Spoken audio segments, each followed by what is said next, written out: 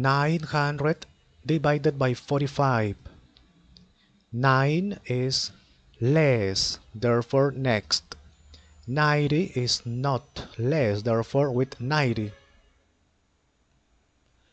45 multiplied by which number is nearest to 90 but not greater 45 multiplied by 3 is greater multiplied by 2 90 is not greater okay.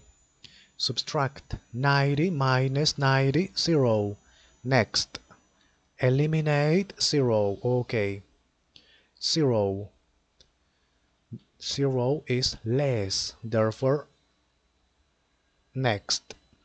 There is not number therefore finish it. Therefore complete always complete with 0 complete because here finish it with this number okay